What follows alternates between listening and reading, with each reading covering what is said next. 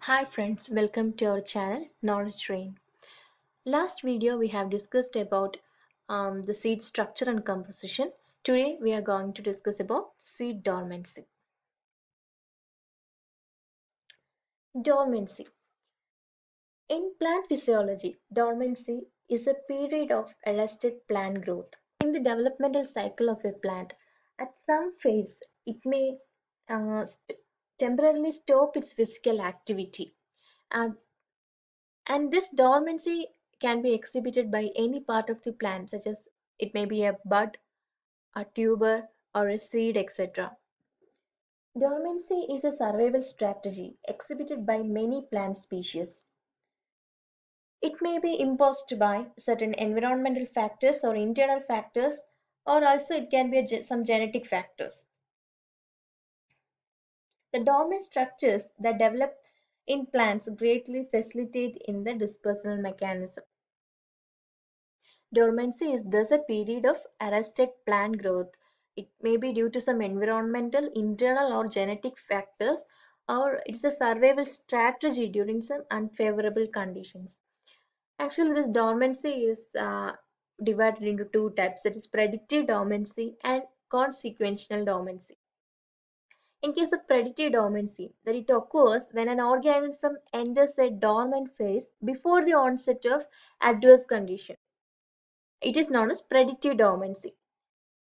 In case of consequential dormancy, it occurs when organisms enters a dormant phase after the adverse conditions have arisen. The example of predictive dormancy is that uh, when photoperiod and decrease in temperature and these two characters that is photoperiod and decrease in temperature are used by many plants to predict the onset of winter. Before the onset of winter, they may show bud dormancy. That is, the perennial plants like shrubs, trees have to go through different seasons in a year. The onset of winter is always an unfavorable season for the growth and even survival of the plants become difficult. And because of these extreme variations, they may enter into a um, post condition, that is dormant condition. And in case of consequential dormancy, it is uh, commonly found in areas with an unpredictable climate. Now we can see what is seed dormancy. We have already discussed that dormancy is a period of uh, temporary suspension of the growth of it may be a plant, a bud, a seed, a tuber, etc. When a seed matures, dehydration of the embryo occurs and rehydration is needed for the germination purpose. Sometimes, even though imbibition of the water occurs, the seed may not germinate. That is, there may arise some intrinsic temporal block to the completion of germination that provides additional time for seed dispersal. And this phenomena is known as seed dormancy. Dormancy is mainly div divided into many types. That is it may it is divided on the basis of developmental time timings on the basis of factors uh, these factors other than the embryo or um, embryo itself. And based on, on the basis of developmental timings the seed dormancy is divided into two categories. That is primary dormancy and secondary dormancy in case of primary dormancy that is when a newly dispersed mature seeds that fail to germinate under normal conditions that is, newly dispersed mature seeds may not germinate under normal conditions. It may be due to the presence of abscisic acid. That, that uh, stage is known as primary dormancy. And in case of secondary dormancy, that is non-dormant seeds, after losing the primary dormancy, the non-dormant seeds may occur. Secondary dormancy if exposed to unfavorable conditions that inhibit germination over a period of time.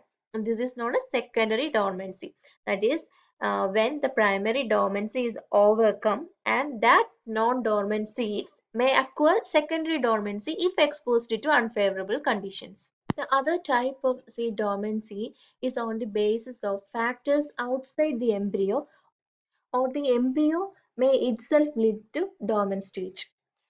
Um, that is exogenous dormancy and endogenous dormancy. In case of exogenous dormancy, it is imposed by the factors outside the embryo and the endogenous uh, dormancy is uh, imposed by the embryo itself.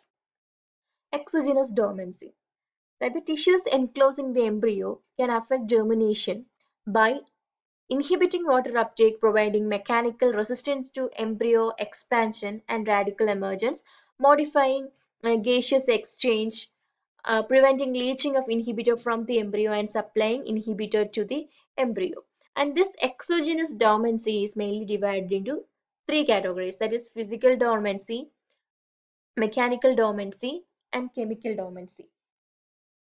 In case of physical dormancy or seed coat dormancy, here the seed coat or seed covering may become hard, may be fibrous or mucilaginous that it behaves like an adhesive gum.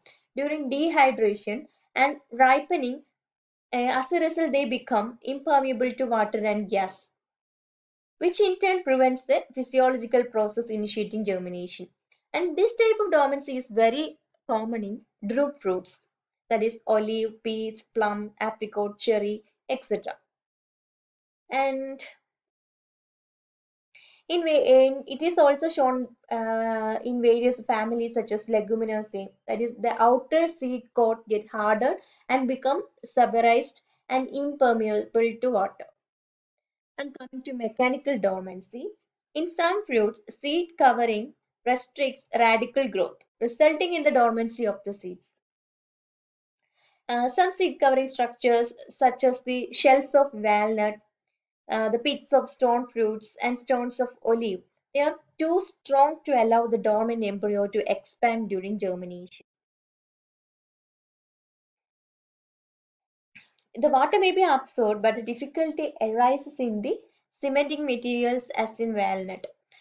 And the germination in such seed does not occur until and unless the seed coats are softened either by creating moist or warm conditions during storage or by the activity of microbes.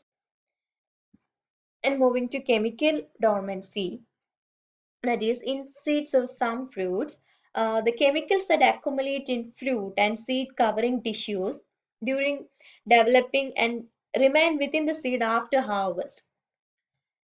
And this is common in fleshy fruits or fruits whose seeds remain in juice as in citrus, cucurbits, cock, stone fruits, pear, etc. And some of these uh, chemical substances associated with inhibition are various phenols, coumarin, and abscisic acid. And these chemicals or these substances can strongly inhibit seed germination, thus they contribute chemical dormancy to this Next type of dormancy is the endogenous dormancy. Here, the dormancy is imposed by the embryo itself. That is, the dormancy imposed by rudimentary or undeveloped embryo at the time of ripening or maturity.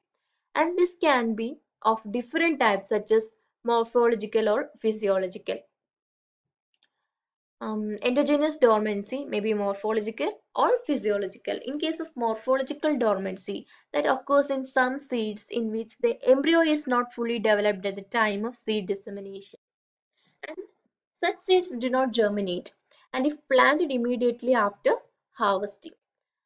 Plants with rudimentary embryos produce seeds with little or more than a proembryo embedded in a massive endosperm at the time of root maturation.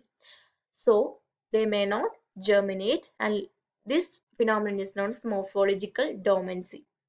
That is the seeds with underdeveloped embryo may not, uh, may not germinate immediately if planted immediately after harvesting. And Next is the physiological dormancy or after ripening dormancy. That is after the shedding of some seeds of barley, wheat, oat, etc. They require an uh, interval of ripening before they attain the power to germinate. And the period of after ripening is needed to produce the necessary growth hormones.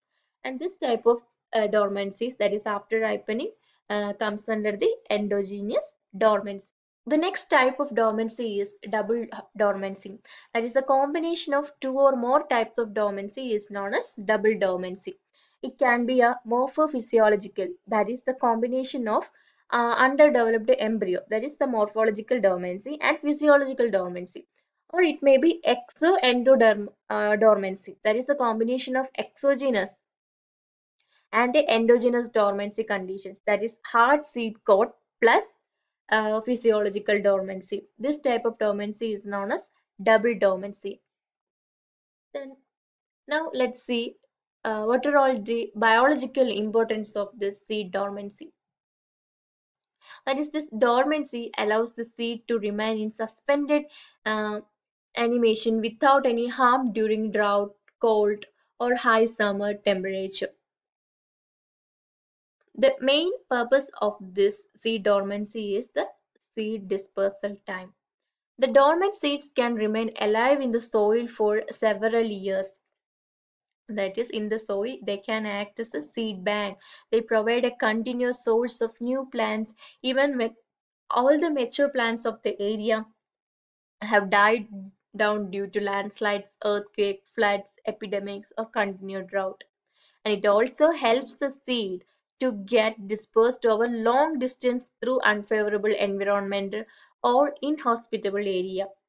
And the other advantage of uh, seed dormancy is the small seeds with impermeable seed coat belonging to edible fruits come out of the alimentary canal of birds and other animals uninjured. Example, guava plant. The next uh, importance is dormancy induced by the inhibitors present in the seed coats is highly useful to desert plants. That is, the seeds germinate only after a good rainfall, which dissolves away the inhibitors. Uh, the rainfall ensures the seed a proper supply of water during its germination. That is, the rainfall will provide water for the imbibition of the seed.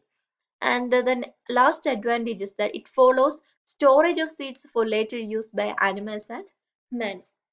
These are all the advantages of seed dormancy. Like that a single coin has two sides, these advantages became disadvantage when the, same things happened in the case of a weed seed. Thank you. If you like this video, give a thumbs up and please subscribe our channel.